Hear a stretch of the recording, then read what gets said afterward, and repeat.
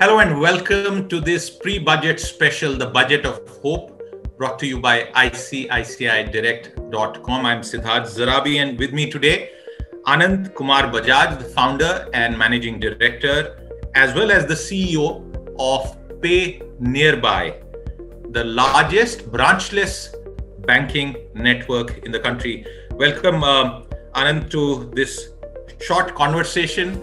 Uh, hopefully, we'll get you to uh, speak about your expectations. But I'm going to start uh, today with a larger uh, question, which is financial inclusion. And we have seen uh, fintech occupy center space in terms of the lives of Indians, even during what was the strictest lockdown, perhaps across the world. And uh, that has helped not only save lives, I would say it has taken further the objectives of inclusion. Uh, tell our viewers what your company is really doing as far as financial inclusion is concerned uh, in tandem with the larger policy objectives that have been laid out by the government. Thank you, Siddharth. And you uh, perfectly said it. It starts lives. And during the lockdown, when everything was shut down, uh, it was important to put that important money in the hands of millions of citizens in the country. The endeavor at PayNearby is to bring the high end of technology to the bottom of the pyramid the policy objectives are clear, the intents are aligned, the infrastructure and railroads all are there. All it takes is to assimilate, assemble all these programs together and help achieve the last mile objective. The fact that there are 6 lakh villages in the country and about just 1 lakh 5,000 bank branches does not add up to the math. So bank hai par banking nahi. If I say it will not be out of place that people have yeah. bank accounts but not access to it easily, and which is where PayNearby, through its program Har Dukaan Digital Pradhan, has reached out to half a million Kirana stores in 17,000 postal codes, serving 50 billion INR of statutized financial services each month. The core is that 150 million citizens come to our network at a Kirana store and are able to say, Bhaiya, 2 kilo aloo, 1 kilo pyaj, or 250 rupees cash dena. That is where we have blended the banking into the grocery interaction uh, at a common man's uh, in, in his life. And uh, with regard to that... yeah with regard to when you say that the uh, alignment with the policy the npci platform infrastructure is awesome and we got all our technologies certified on the application service provider platform asp of the npci and uh, it has been a fabulous uh, journey then because my customers do not tweet. My customers do not complain. They talk to the lord almighty directly. So it is all the more important for us to ensure that that 700 rupee that he remits or receives is not lost in transit. Thank that's a very that. very that's a that's a very very important uh, point you make and i am particularly very impressed with uh, some of the um, slogans that you have they are not slogans actually they are business objectives which have been captured in uh, easy to understand um, caption language, and I wish you all the best there. I have two quick follow ups um, uh, from you. Uh, one, you spoke about NPCI and um, uh, uh, that, and I believe not enough attention has been paid to uh, the significant progress that has been made and the amount of financial innovation that has been happening in the country for the past few years. I think it's a great achievement, and all uh, best wishes to entrepreneurs like you. What can the budget, and this is the next point on which I want your response, what can the budget do to support companies like you and, in fact, the entire ecosystem? Absolutely, Siddharth. See, we have built an infrastructure a branchless infrastructure harnessing the economy's uh, available assets, which is Kirana stores, uh, a pharmacy store. And this infrastructure uh, uh is well deserving if we say that should be granted the infrastructure um, uh, tag and the tax benefits that go belong to uh, manufacturing or to large ports. banking is equally an important infrastructure that we have built. So, what if the government would look at it uh, in a positive light and facilitate those tax breaks, tax benefits for reaching out the mass uh, with financial services? And when I say financial services, it is entire insurance sector, lending sector, or payments, digital payments, or investments. So it's a railroad that has been built through a trusted retail partner, where we nothing but dispense sachet of trust Imagine what an infrastructure this is, where you don't need 5 lakh more additional bank branches to cater to the 100 uh, crore citizens. So, if tax benefits are granted, that is one. Second is a clarity is imperative in regulations. The writing is on the wall and, of course, on the papers.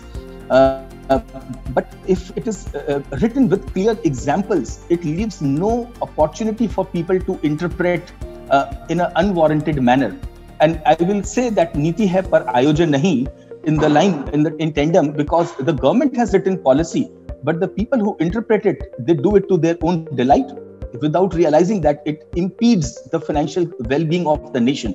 So there are regulations which are written on GST waiver for the financial inclusion. TDS waiver 194N proviso 3 is specifically for financial inclusion sector. But the way the people read on the ground last mile is not at all encouraging. So when the regulations are written, this time be it, let there be an example to tell them what it actually means so that there is no Shakespearean English required to interpret government's policy objectives. I think I think you have very uh, nicely explained Niti hai par ayojan nahi, and I I hope that people in government um, uh, listen to this very particular point. I have two other follow-ups uh, on this, and the the point that I want to ask you is the last uh, part of your response. One of the things that Uh, it seems to me is perhaps a stumbling block, and I could be incorrect on this. You are a practitioner. Is the lack of English language literacy or even literacy in our own Indian languages. A lot of the technology interface requires some bare amount of alphanumeric literacy. Bare amount. I'm not saying it needs you to be a PhD, is that an issue really when it comes to financial inclusion making your products like you gave that 700 rupees example. Now that obviously is catering to someone who may not have very high levels of uh, financial literacy or even general literacy anand. Absolutely bang on siddharth. I would say telcos uh, should be given some commendable award in the nation for making india number literate if not financial literate or if not uh, alphabet literate everyone knows what is 1, 2, 3, 4, 5, 6, 7, 8, 9, and 0. People have dialed out numbers and received calls. They have uh, understood what numbers are. And if you see for financial services, nothing but numbers are required. I would also go forward to say that the vernacular languages helps a lot in making people realize that this is their dialect, this is their language, this is their platform. So PayNearby has offered our services in multiple languages across the country, along with videos which are in multiple languages. So beyond that, uh, people are intelligent. If you are able to handhold them, assist them, they are able to cross that bridge. The Bharat bridging to India is here. It's written. It shall be accomplished. And I think these small little touch-ups which we are doing will will build the bridges uh, to the two sides of the river. Okay, uh, uh, building bridges uh, to to those who are uh, are uh, less fortunate really in economic terms but have deep aspirations is is a very laudable objective. My final point um, Anand, uh, is that we spoke about budget and the hopes.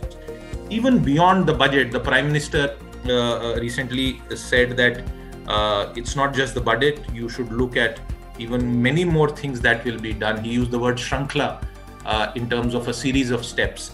Therefore, uh, taking off from your initial responses, will I be correct in summing up that one of the big things that you are really saying is 15 years ago, our policy 20 years ago gave infrastructure status to various industries at that point of time bridge building, road building, even the IT sector they got lots of breaks because it, that was the policy objective 20 years back.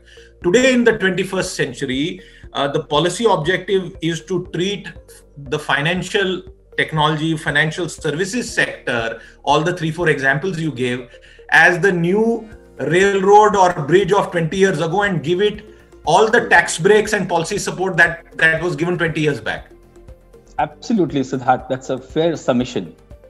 Fair submission and yes i if if that's a comment i accept it if it's a query uh, i would reiterate that uh, government shall uh, should in the shrankhala of uh, other initiatives take upon this particular module as well and uh, declare if nothing else uh, the financial inclusion drive by many of us as as industry and infrastructure industry at that uh, that would be very, very helpful.